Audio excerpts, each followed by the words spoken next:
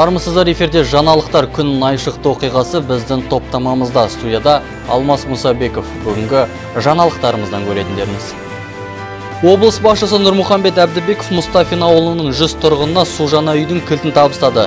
Жалпы топан судан қираған 346 үйдің 200-і қолданысқа беріліпті. Теміртаудағы Миттелсил компаниясында металл ұрлау әдетке айналған. Келеңсіздіктерді тоқтатуға құқық қорғаушылар да күш салғанымен әзірге оң нәтиже байқалмайды.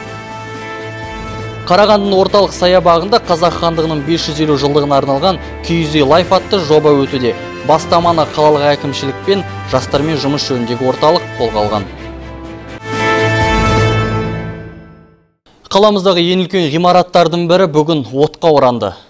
Көп қабатты диамонд тұрғын үй кешенінің жоғары қабаттары қызыл жалынға оранды. Элиталық пәтерлер кешені болып табылатын ғимаратта жалын неден шыққаны әзірге белгісіз. Төтенше жағдайдың куәгері болған қала тұрғындары жалын жоғары қабаттарға қарай көтерілгендігін айтады. Ал өрт сөндіру қызметіне 16.30-да хабар келіп түскен. Оқиға орнына өрт сөндіру бригадасы жіберіліп, жалынды құрықтауға құтқарушылар жұмылдырылған. Төтенше жағдайға қатысты нақты бір мәлімет тексеріс жұмыстарынан кейін белгілі болмақ.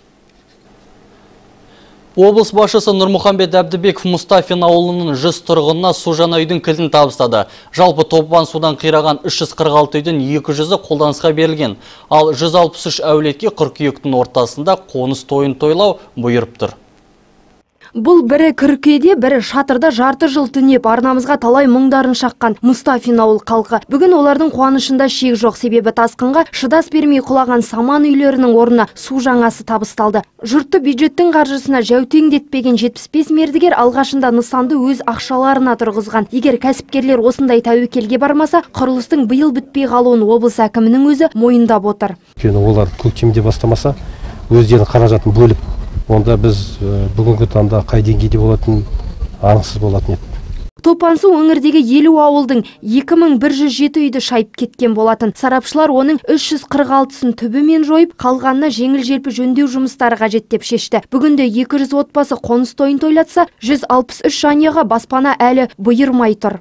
По плану по графику тоғыз ауданнан бес ауданда құрылыс қалды. Жоспар бойынша қазан айында аяқталуы тиіс жұмыстардың барлығы тез бітті. Енді 163 үйдің құрылысы қалды.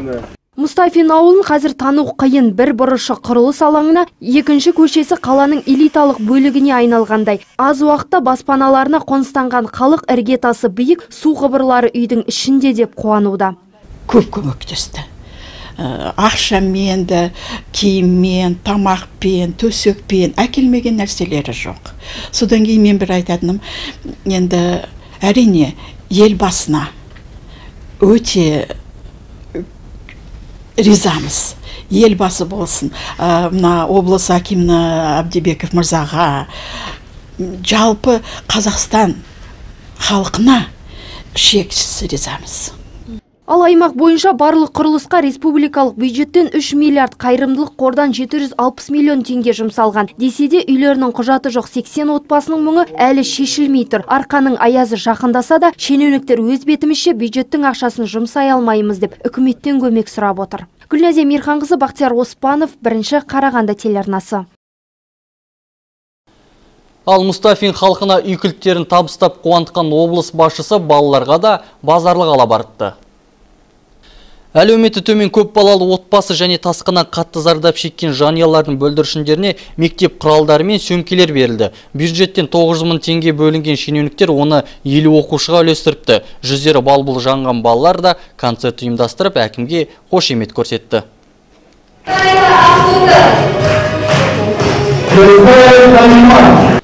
Ал табиғи апаттан үйлері жарамсыз деп танылған Нұра ауданындағы елді мекендерде тұрғындар жаңадан бой көтерген үйлердің иесі атанды. Біздің арнамыздың түсіру тобы да Тассуат кертінді елді мекендерінде қуанышқа ортақтасып қайтты.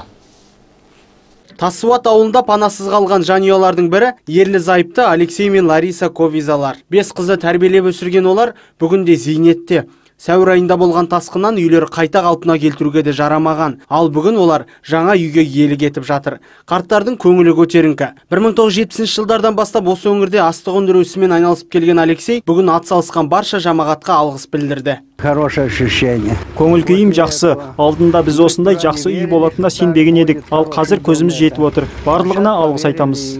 Бұл үйдің құрылысын қолға алып иелеріне табыстаған элоим атты құрылыс компаниясы. Маусым айынан бастап жүзеге асқан нысан құрылысы аяқталып бүгін пәтер иелеріне кілт табысталды. Вот начиналось. барлық іс қиын басталған еді. Кейінірек істің қарқыны жеделдеді.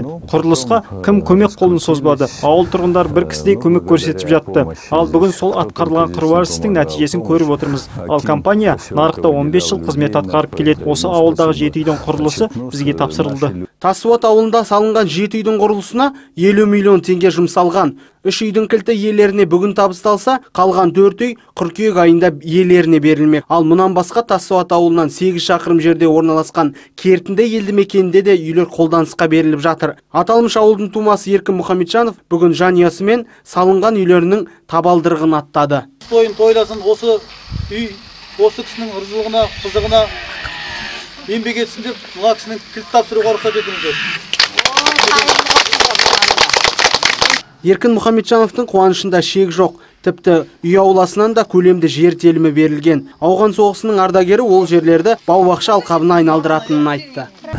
Екі үш айдың ішінде бізге осы арада біз көп адам сенбеді. Бірақ біз қуанышымызға ортақ мемлекет бізге көп қаражат бөліп уақытша үйге де тұруға да қаражат бөлді. Киім кешегінде де бізге зор қызмет атқарды. Оған біз рахметімізді айтамыз. Ауылдағы үйлердің құрылысына 26 миллион теңге жұмсалған. Үйдің құрылысын әлия құрылыс жауапкершілігі шектеулі серіктестігі жүргізген. Биылғы жылғы су тасқынынан кертінді ауылында жеті үй зардап шеккен. Оның бүгінгі күні төрт үйіне құрылысы басталып май айында бүгінгі күні аяқталып отыр. Бүгін қоныс тойын кертінді ауылда тойлап жатырмыз жаңа үйлерге жылу құбырлары да тартылған. Ал жалпы аудандағы жарамсыз деп танылған 29 үйдің құрылысы бітіп қалған үйлер қыркүйек айының басына дейін берілмек. Нұрлат қонысбай төлеген рашидов бақтияр оспанов бірінші қарағанды телеарнасы. Көрсетілім демеушісі галакси групп компаниясы. Алюгал галвин херкюль сауда белгілерімен. Галвин. А классындағы телеселік жүйесі. Ұзақ мерзімділігі 60 жыл. Галвин профилі. Аязға төзімді сенімді берік сапаны бағалайтындар үшін. Теміртаудағы Металл Стил компаниясында металл ұрлау әдетке айналған келеңсіздіктерді тоқтатуға құқық қорғаушыларда күш салғанымен әзірге он нәтиже байқалмайды. Сонымен қатар өңірдегі жасөспірімдер арасындағы бұзақылық та өсіп келеді. Облыс әкімі мен сала мамандары аталған мәселелерді қарап шешу жолдарын талқылады.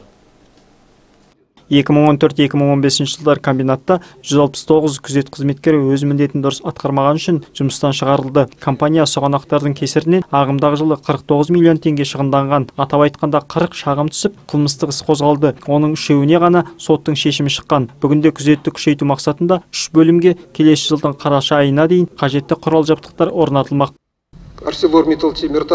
Біздер сотқа арыз түсіргенмен әлі кімнің айыпты екенін біле алмай отырмыз. тіпті болмаса сотқа дейін қылмыстық істің қалай жүргізіліп жатқанын полиция басшылығынан түсіндіріп беруін сұраймыз. на территории вашего завода сворованный металл на вашей же территории склады создают ворованного металла чтобы потом его каким-то образом оттуда вывести. Құқық қорғаушылардың айтуынша қазіргі таңда тергеу жүргізілуде. Қылмыстық істі жүргізу заң жүзінде атқарылады. Ұрлыққа негізінен мекеме қызметкерлерінің өздері араласқан. Тергеу нәтижесі аяқталғанша ешқандай мәлімет берілмейді. Ал екінші қаралған мәселе жасөспірімдер арасындағы бұзақылықтың көбеюі. Соңғы жеті айда жастардың жетпіс түрлі мәселесі қаралған. Қырықтан астам ата ана өз құқығынан айырылған. Около более 200 миллионов 533 мектепте құқықтық білімдерін көтеру мақсатында арнайы оқытылады. білім ошақтарында 148 жасөспірімдер полиция инспекторы жұмыс істейді. төрт мектепте эксперимент түрінде кадет сыныптары ашылды. Білім басқармасы басшысының пікірінше кадет сыныптарына облыстағы мінезі қиын және тәртібі нашар балалар жіберіледі. Оларға арнайы педагогтар қызмет жасайды. Сонымен қатар психологтарды көбейту әрі кәсібилігін қалыптастыруға жұмыстар жасалуда. Сынып жетекшілері мен тәрбие ісі мамандарына тиісті міндеттер күшейтілді. Сондай ақ мектептерде бейнекамералар орнатылуда. Облыс әкімі жастар елдің болашағы болғандықтан сала басшыларына балалардың тәрбиесіне үлкен жауапкершілікпен қарауды жүктеді. Жаңабек наров олжас ғаббасов бақтияр оспанов. Бірінші қарағанды телеарнасы Теңгенің құнсыздануы әлемдік дағдарыстың әсерінен болып отыр. Нұр Отан партиясы облыстық филиал жетекшісінің орынбасары Қадиша Оспанова еліміздегі экономикалық өзгерістер әлемдік дағдарыс нәтижесінде туындаған қалыпты жағдай деп отыр. Алайда бұл кәсіпкерлер ісінің алға басуына, экспортталатын тауар санының артуына көп әсерін тигізеді дейді. Қадиша Базарбай қызының сөзінше девальвация көп елде орын алып жатса да экономикасы тұрақты сақтап отыр. Мысалға, Ресей мен Қытайда да валюта құнын төмендеуі елдердегі кәсіпкерлікті оңтайландыруға оң серпін беріп жатқан көрінеді. Ал еліміз дамушы елдердің қатарында болған соң бұл жайтқа байланысты экономиканы тұрақты қылу, экспорт көлемін арттыру сияқты әрекеттерді нақты міндетке айналдырады средства которые хранились. Теңгенің құнсыздануы жаңа экономикалық саясат негізінде біріншіден кіші және орта бизнесті дамытуға әсер етеді. Ал екіншіден тауарларды экспорттауға көп қиындық көрсетпейді. Егер кәсіпкерлік дами түссе онда біздің халық та зардап шекпейді. Біз өз тарапымыздан әкімшілікпен антимонополиялық комитетпен бірге дүкендердегі тауар бағаларын қадағалауда жұмыстар жүргізіп жатырмыз. Ал Қарағанды облыстық маслихатының сессиясында тексеру комиссиясы облыстағы мемлекеттік мекемелердің бюджеті орынсыз жұмсалғандығын атап өтті. Шара аясында облыстық білім, экономика және қаржы, табиғи ресурстар және табиғатты пайдалануды реттеу, мәдениет, мұрағаттар және құжаттама басқармаларын басшылары тиісті сұрақтары бойынша жауап берді. Депутаттар сыртқы және ішкі экономикалық дағдарыс кезінде бюджеттің әрбір тиынын дұрыс есептеу қажеттігін, мемлекет қаржысының ақырында есебі болатын басқарма басшыларына қатан ескерту жасады. Комиссия мүшелері аталмыш мәселе бойынша алдағы уақытта арнайы жиын өткізбек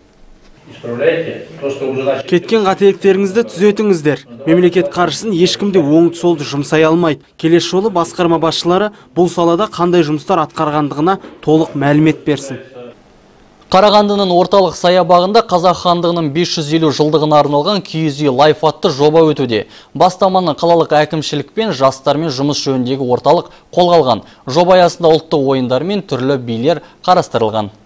Киіз үй лайв жобасы аясында арқан тартыс асық ойындары мен қазақтың ұлттық билері қарастырылған. Бұдан басқа Саржайлау кинотеатрының қолдауымен отандық фильмі көрсетілмек. Ал киіз үйлерде қамаз, құрт пен ыстық бауырсақтардың дәмін татуға болады. Сонымен бірге шара барысында қарағандылықтардың назарына электронды көрме ұсынылады деп жоспарлануда. Көрменің басты мазмұны қолында смартфоны немесе кез келген заманауи гаджеті бар адам интернетке қосылу арқылы ал интернет бүгін бізде тегін Wi-Fi аймағы орнатылған QR кодты оқу арқылы өзінің құрылғысында қазақ хандығының қазақ тарихында үлкен жетістіктерге жетелеген азаматтар туралы ақпарат алады. Ол яғни керемет жәнібектен бастап біздің атақты үш биімізге дейін. Ұлттық салт дәстүрді насихаттауды мақсат тұтқан ұйымдастырушылар жобаға қыркүйектің біріне дейін қатысуға болады дейді. Осы уақыт аралығында саябақты түрлі концерттік бағдарламаларды тамашалауға болады. На данный момент э, жастар ұйымдастырған жобаларға қолдау көрсету біздің парызымыз. Осындай бағдарламаларда үнемі қатысамыз. Киіз үй лайв жобасында тегін интернет орнаттық. Ол саябақтың барлық аумағында жұмыс істейтін болады. Сонымен бірге ұйымдастырушылар спорттық шараларға қатысқан жандарға бағалы сыйлықтар дайындап қойған. Мейрамгүл салқынбаева төлеген рашитов бақтияр оспанов бірінші қарағанды телеарнасы. Қарағанды шенділер оқушыларға энергетикалық сусы мен кальян ұсынатын мекемелерге қадағалауды күшейтеміз деп отыр. Себебі бұл тауарлар соңғы кездері емін еркін сатылып, жас талғамай таратыла бастапты. Оқушылардың денсаулығын алаңдаған атқамінерлер ол қылмысты да көбейтуі мүмкін дейді. Жас өспірімдердің арасында өз-өзіне қол жұмсаудың алдын алуға арналған шара энергетикалық сусын төңірегінде өрбіді. Ең әуелі сол тауарларды мектеп оқушыларына емін еркін сатып жатқан мекемелер қатаң қадағалансын деді Ирина Любарская. Сөзінше денсаулыққа кері әсерін беретін сусындардың кесірінен жастар әртүрлі қадамға баруы мүмкін. Михайлов полиция бөлімінің қызметкерлері саябақта энергетикалық сусындарды жарнамалап жүрген азаматтарға назар аударып тиісті шара қолданыңыздар әкімшілік оларға еш рұқсат берген жоқ Сонымен қатар жас өспірімдердің бұзақылық жасауы мен тәртіпсіздікке не итермелейтіні сөз болды. Мир Дабыра қоғамдық ұйым өкілдерінің айтуынша барлық мәселе ата-анаға байланысты. Себебі көп отбасында таң сәріден жұмысқа кеткен әке шешенің балалары қадағалаусыз болады то есть все наши мысли балалар ата анадан көрген істейді тәрбиені үйде жақсарту керек сыртқа жіберер алдында сұрақ жауап алып кіммен не үшін жүргенін тексеру керек Ал құқық қорғау органдарының өкілдері жасөспірімдер бұзақылыққа алдау арбаудың салдарынан баратынына сенімді. Соңғы жылдары тіпті темекі тартып, ішімдікке құмартқан оқушылар жиі ұсталатын болыпты. Наша сатумен айналысатындар 9-10 жас аралығындағы балаларды ақшамен алдап, өздерін соған құмартуда бой алып келеді. Имеют место быть факты проникновения қазір біздің елге көрші елден синтетикалық наша түрлері келіп жатыр есірткі таратушылардың мақсаты біздің елдің жасөспірімдерінің санасын улау алдап арбап ақшамен өз қатарларына тартып отырады абайлау керек Іс шара соңында барлық мемлекеттік ұйымдар бірлесе жұмысқа кірісетіндерін айтты. Заң бұзушылыққа жол берген азаматтардың куәсі болсаңыздар, экрандағы телефонға хабарласуларыңызды сұрайды. Қарағанды облысының комитет басқармасы мемлекеттік мекемелермен бірігіп кәсіпкерлер арасында жиын ұйымдастырды. Ондағы қозғалған басты мәселе қадағалау органдарын шағын және орта бизнес объектілеріне 6 айдың ішінде жүргізген тексеріс жағдайын көрсету төңірегінде болды. Кездесуде Қазақстан Республикасы бас прокуратурасының жаңа жобаны тұсауы кесілді. Тексеріс объектілері мен субъектілердің бірыңғай реестр атты жаңа бағдарламаның бағыты еліміздегі кәсіпкерліктің дамуына тиімді жолдар жасау. Сонымен бірге басқосуда бизнес иелерінің құқықтары мен міндеттері, олардың өз табыс көздерін заңсыз тексерістерден құтқару жолдары сөз болды. бұл жобаның кәсіпкерлермен қатар қарапайым адамдарға да пайдасы мол мәселен кез келген адам комитеттің сайтына кіріп тексерістің нәтижесін біле алады Елбасының бекіткен жүз нақты қадам ұлттық жоспарын іске асыру бойынша қаламыздағы сот мекемелерде тыс қалып жатқан жоқ. Жоспар аясында 5 институционалдық реформа оның ішіндегі заңның үстемділігін қамтамасыз ету бойынша шаралар жүргізіліп жатыр. Аталмыш реформада еліміздегі құқықтық жүйені дамытуға 19 нақты қадам қойылған болатын. Қарағанды қаласы Қазыбек би ауданының нөмірі екінші аудандық сотының судьясы төлеген Жабықбай жоспардағы реформаны орындауда нақты міндеттер қойылып, сот ісіне қарасты мақсаттарды орындап жатырмыз дейді. Оның сөзінше кейбір сот отырыстары аудио немесе бейне жазбаға жазылмайтын көрінеді, ал қойылған нақты қадамдар азаматтар үшін жақсы нәтиже береді деді судья. Жүз нақты қадамдардың еншіндегі бір маңыздысы барлық сот отырыстарын аудио, видео, бейне жазбасымен толық қамту бүгінгі күні қарағанды қаласы қазыбек би нөмір екінші аудандық соты аталған жазбамен барлық сот отырыстарын қамтыды Жаңа оқу жылына байланысты кәмелеттік жасқа толмағандардың жол қауіпсіздігін қамтамасыз ету бойынша қаламызда назар аударыңыз балалар атты акция өтуде. Шараны қалалық ішкі істер басқармасы жүзеге асырып отыр. Акцияның негізгі мақсаты жол қауіпсіздігін қадағалау, балалардың көшелер мен жолдардағы тәртібіне мән беру, сонымен қатар көлік жүргізушілерінің қауіпсіздік белгісін тағуы басты назарға алынған. Ішкі істер басқармасы қызметкерінің сөзінше қаламызда соңғы уақытта балалардың қатысуымен 19 жол көлік оқиғалары орын алған. Былтырғы жылға қарағанда биыл балалардың қатысуымен өткен жол апаттарының саны едәуір төмендеген на территории города Караганды Қарағанды қаласы аймағында 20 тамыз бен 10 қыркүйек аралығында назар аударыңыз балалар акциясы өткізіледі. Бүгін акция аясында сіздің жолаушыңыз бала атты іс шара өткізіліп жатыр. мақсат жүргізушілердің көліктердегі бала орындығының болуын қадағалау көліктегі бала қауіпсіздігін қамтамасыздандыру. Құрметті көрермендер, бүгінгі редакциямызға келіп түскен ақпараттар легі осындай болды. Мен өздеріңізбен қоштасамын. Амандықта жүздескенше.